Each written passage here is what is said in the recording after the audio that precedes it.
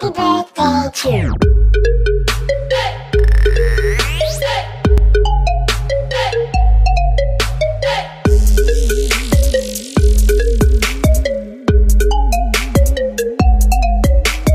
Guys, so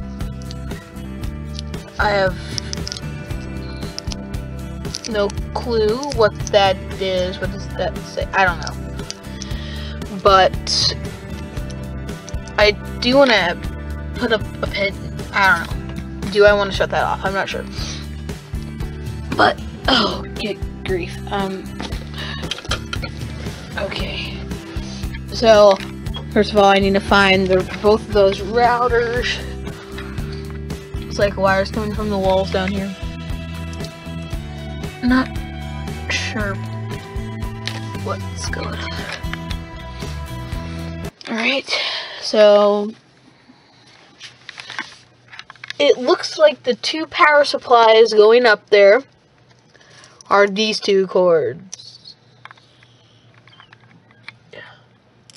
under wireless networks. And the rest of these are like all crappy. That's I know that's a pencil sharpener up there. That what is this for? Yep, that's for my pencil sharpener. That's the audio for the computer. So much stuff back there. I'll actually show you what I mean. Oh god, that light's hot. Really, really hot. Alright. You see all that, those cords back there? Okay, guys.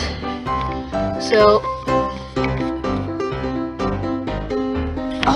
need to do is just replace the modem, and I'll show you when I get. Alright, guys. So I'm back. I literally just replaced this modem. It's 7013 now. So.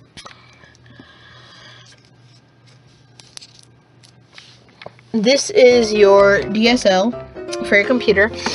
I had to unattach that from the router up there. Detach the plugs, bring new plugs in here. Because we just went up to Best Buy and got a new router. And then our Netgear one, this is the Netgear plug.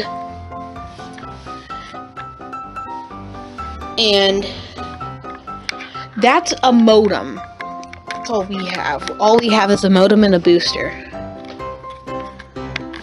So that's just the regular router. This one is right here. And that one's the booster, which basically, let's move this computer so you guys can see it. Um, oh gosh. This one, there's just a yellow cord that came with this Netgear one, and it plugs in smoothly to that router. And that's basically how we all did it. Then there's four Ethernet ports. Four Ethernet ports. And that black cable goes to... That black cable comes out from there and gives this PC Wi-Fi. So, that's basically how it works. I'll see you guys. That's what I did. See you guys. Bye, people of...